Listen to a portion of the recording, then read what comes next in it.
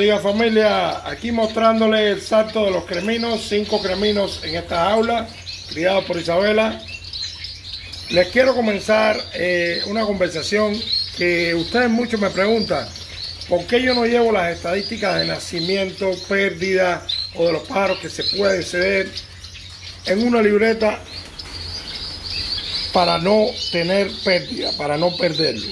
Y bueno, yo no llevo eso en una libreta por el simple hecho de que trabajo de otro modo. Para mí es necesario llevar el control de lo que está pasando en el aviario en el momento. Aparte de un archivo que les mostraré que también tiene toda la información de cada uno de los pájaros. ¿Ok? Por ejemplo, a mí me interesa saber qué nido tiene pájaros de esta forma, con esta tarjeta. ¿Qué nido tiene huevos de esta forma? Con la misma tarjeta invertida. Cada una tiene una información diferente. Estas tarjetas son creadas por mí con un plástico reversible que las hace impermeables. Cuando termino de trabajar con ellas, las lavo, las limpio. Primero le borro toda la información con este plumón, que es un marcador que te permite borrar, y las guardo así, como una tarjeta. Cada tarjeta tiene un huequito en las esquinas que tienen la medida exacta de los huecos del nido de la marca 2R, tanto el nuevo como el viejo. Y si se percatan, tiene dos clavos en esos huequitos. Esos clavitos son simplemente clavos de acero inoxidable que están doblados para poder revertir la tarjeta desde una forma a la otra. ¿Ok? Entonces, cuando yo termino de criar, se borra toda la información que hay aquí, se sacan los clavos, se guardan aquí, la tarjeta se limpia y se almacena en un lugar donde tengo acceso de nuevo a venir y agarrarla para una próxima. Pero como les dije, todo esto es para trabajar en vivo en el aviario. Tanto las tarjetas como la pizarra. Aquí llevo toda la información de lo que está sucediendo en el momento. Una vez llego a la jaula y voy a realizar un destete, yo retiro la tarjeta, me siento a mi computadora y archivo toda la información de cada ave, porque cada ave va a recibir un anillo de color hecho de estos anillos y troquelado con esta máquina que yo me he inventado, con esos eh, troqueles, que muestra la fecha de nacimiento mis iniciales, Carlos Rodríguez, y un número de tres dígitos en vertical después de las iniciales, en este caso 852. ¿Ok? Ese número que ustedes están viendo ahí es el número de identificación de un ave. Va desde el 0 hasta el 999. Eso es una producción excesiva, por tanto es el tope. No voy a meter cuatro dígitos dentro de un anillo porque no pienso llegar un año a una producción de más de 900 pájaros con mi aviario. Entonces, por eso son solo tres números. Pero ese número y ese color hace una diferencia en el pájaro que sea marcado. Este anillo se puede poner tanto cerrado cuando se pone a los 10 días, porque este se pone a los 10 días porque es un poco más grande, a los pichones, o cortado y se abre y se coloca cuando quieres ponerlo para marcar a un ave y no se lo colocaste anteriormente. Ese es el método que uso para marcar. Pero ese anillo con esa información viene a este archivo que tiene tres páginas, o sea, tres especies. Cada página que hay seis, alberga varias especies. Pero esta es la plantilla limpia. Ahora voy a una plantilla ocupada para que ustedes vean cuál es el desenlace aquí. Esta plantilla de Excel es la plantilla de los baberos. Ok, ¿qué me muestra esto? Los destetes de baberos que voy haciendo cada año y mucha más información. Por ejemplo, destetes. Se han hecho 18 destetes en el 2023 de los baberos creminos. ¿Ok? Unas ventas están en cero porque no se ha cedido ninguno. El total de lo que generan esas ventas. Las muertes, hubo una muerte, se dan cuenta hay una línea roja porque una vez que yo ponga el letrero muerte, se marca y se quita toda la información, solamente se apunta una muerte. En casa, 17. O sea, 18 de tetes, murió uno, quedan 17. Cambios que hubieron, regalos que hubieron, fuga. Esas son opciones de que haya pasado cualquiera de esas opciones. Donde yo pongo la pestaña muerte, se ponen esos letreros que están ahí arriba y automáticamente quita la información de ese ave. Esta es la fecha actual y entonces en la plantilla vamos a usar los primeros cuatro pichones que vienen de la pareja 18 en la jaula 64, criados por la pareja de nodriza que está en la jaula 32 y a su vez en la pareja 32. Por ejemplo, ¿qué información yo tengo aquí? Bueno, pues aquí yo tengo el número de anillo. Este número que ustedes están viendo aquí es el número que yo pongo en el anillo, que va de 0 a 900. Este color es el color del anillo que me sirve para identificar los padres de ese pájaro. Pero a su vez dice anilla y puesta, o sea, ¿qué puesta lleva ese pájaro? Es la quinta puesta de esa pareja. Anilla y sexo por si uso dos anillos. No estoy usando dos anillos. Pero tampoco tengo el símbolo de interrogación que debería tenerlo que marca el sexo del ave. Como todavía no lo sé, porque no los he tenido en la mano después que ya cogieron color, tengo que sexarlos, ¿ok? Aquí yo pongo el sexo si es hembra o macho. La fecha de nacimiento, eso me refleja los días, los meses y los años de cada pájaro. Los padres, que dándole a este clic va a otra ventana, y las nodrizas, que dándole a este clic va a otra ventana. Aquí el precio de venta y el historial, que es lo que les expliqué, que se refleja en los letreros rojos que está viendo arriba. Por ejemplo, y vamos a ir a los padres. Cuando nosotros damos clic, automáticamente carga y se abre la pestaña. Voy a abrirla completa. Se abre la pestaña de los padres. ¿Ok? Pero si se dan cuenta, está oscureciendo. Vamos a moverla porque está corrida. ¿Ok? Aquí está bien.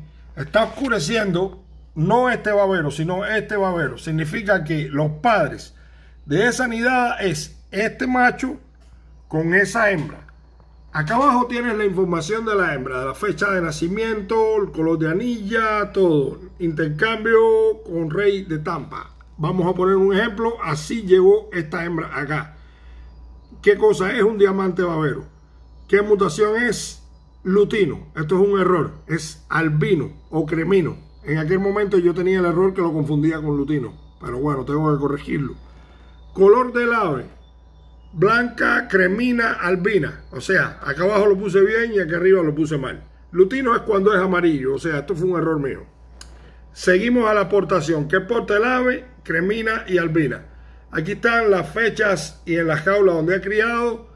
El número de la hembra. Cada hembra tiene un número aquí en casa que no es el número del anillo. O sea, ella tiene el anillo 89 y su número es la hembra 10. ¿Ok? Puestas logradas por vida 6 esa es por vida con cualquiera de esos dos machos. ¿Por qué? Porque con este macho en 2022 yo tuve tres.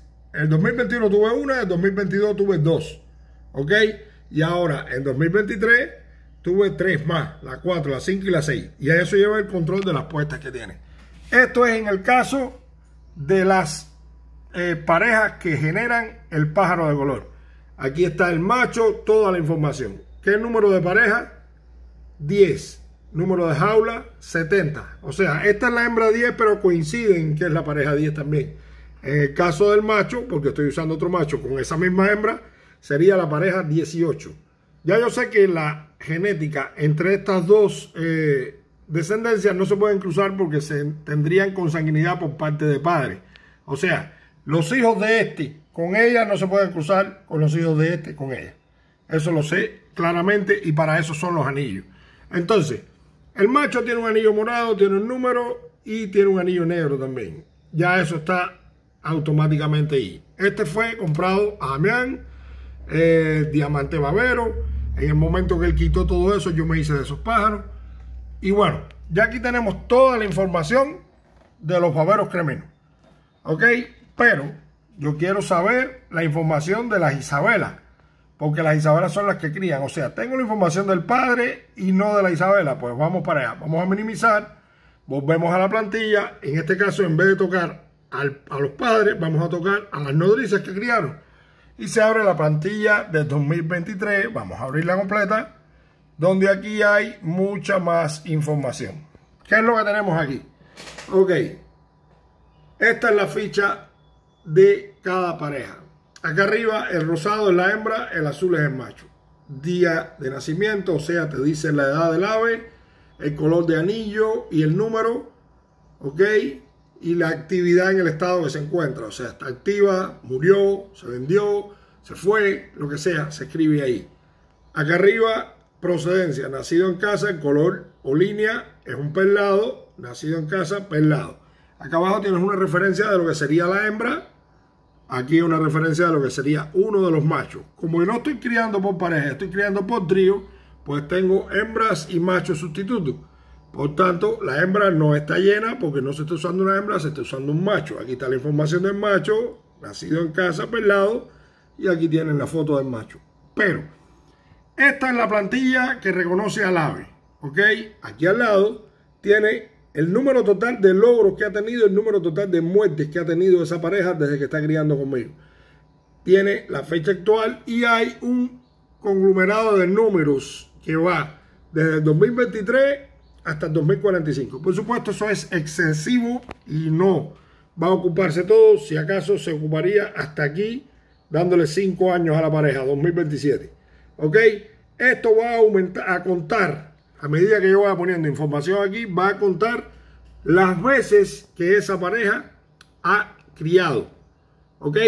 Estos son parejas nuevas, como ustedes saben, yo monté pareja nueva en todo el aviario y ahora hay una actualización. Entonces, aquí, ¿qué puesta? Esa pareja recibió, puesta recibida, puesta R, puesta recibida. Esa pareja recibió la puesta 5 de la pareja 18 de Bavero. ¿Qué significa esto? La pareja 18 de Bavero era la misma pareja que antes les mostré. O sea, esta información, recuerdan, pareja 18 de Baveros. Ahí está automáticamente toda la información asociada a cada pareja. ¿Qué año fue el año de cría? El 2023. ¿Cuántos logros tuvo? Bueno, pues tuvo cuatro, fueron los cuatro pichones que hubieron. ¿Hubo muerte? No hubo muerte. Entonces, Aquí tenemos una plantilla que repite la misma información aquí para llevar el control en todo esto de los 7 años de cría. Por supuesto, cada pájaro de eso le tomaría unos 6 o 7 casillas de este tramo por año. O sea, me sobra. Yo lo hago siempre que me sobre. De este lado tengo el conteo creado por especie, criado por especie. O sea, cada uno tiene una sigla y esa sigla está aquí especificando qué cosa es. Por ejemplo, BA es diamante babero, BF es diamante blueface, que es el tricolor. Todo eso yo lo llevo ahí. ¿Qué crió esta pareja? Ok, en el 5, la puesta 5, que sacó cuatro pichones, fueron baberos. Lleva uno de baberos. En la puesta 1, que fueron dos pichones, fueron Isabela. O sea, también crearon Isabela. Entonces ahí hay un control de qué pájaros ha criado esa pareja para cuando yo voy a asociarle los huevitos no fallan. Esto es muy importante. Esto es muy importante porque aquí yo llevo control de todo lo que va pasando en el aviario. Un archivo que sí se queda guardado y que sí tengo acceso desde cualquier parte porque se guarda en una memoria. Entonces, eh, cerrando aquí, no, voy a cancelar la cerrada. Voy a cancelar la cerrada. Voy a cerrar las otras páginas y voy a dejar esta abierta. Voy a cancelar porque no hice ningún cambio. Ahí está. Atrás, al final, tiene una opción que dice genética enlace. Clic aquí.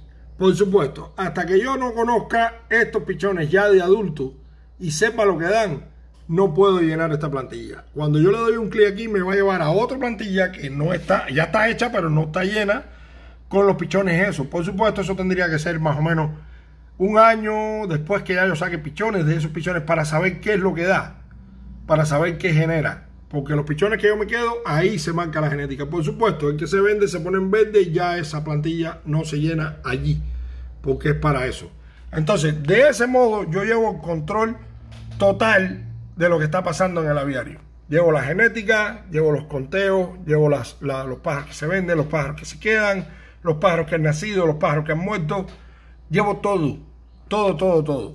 Tengo eh, eh, preparado un diseño para actualizar esta plantilla nuevo donde habría más información.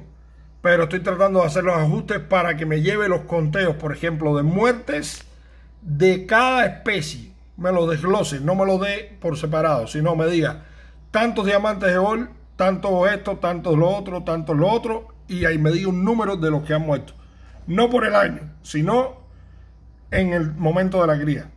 Tengo eso en mente y hay otras, otras opciones que hay. Aquí en la opción del año se pone el año que estás trabajando. Por supuesto, esto no lo he llenado y esto sería 2023. Ahí está lleno, salvo. Y de ese modo les dejo claro cuál es la forma que yo trabajo. Un abrazo, mi gente.